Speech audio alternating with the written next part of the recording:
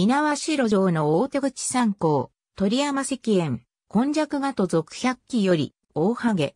水木しげるによる、亀姫の妖怪画には、この模写画が用いられている。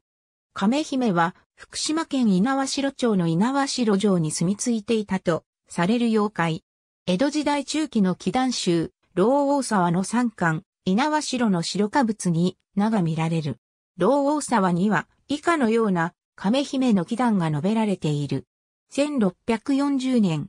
当時の稲城城の城主は会津藩の第二代藩主、加藤明成であり、堀部主膳という者が城代を務めていた。12月のある日、堀部主膳が一人でいるところへ見知らぬハゲ頭の子供が現れ、お前はまだ城主に挨拶をしていない。今日は城主が会ってやるとのことだから、急いで準備をしろと言った。主膳は、この城の主は、我が主人、加藤明成、城代は、この主膳であり、他に城主などいないと言い返して睨みつけた。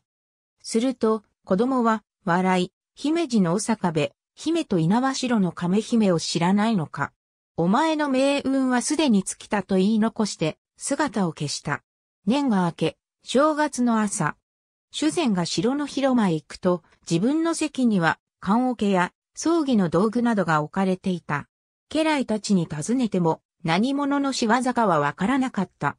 その日の夕方には、どこからか体勢で餅をつくような快音が響くなどの怪異があった。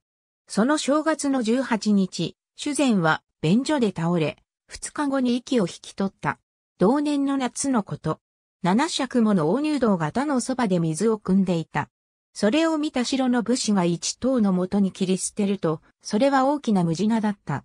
以来、城で怪異が起こることはなかったという。姫路のお坂部、姫とは、姫路城の天守に住んでいたとされる容器、お坂部姫のことであり、亀姫は、お坂部姫の妹とされている。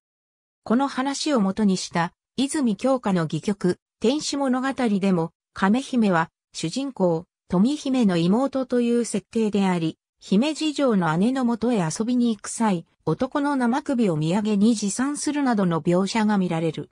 ありがとうございます。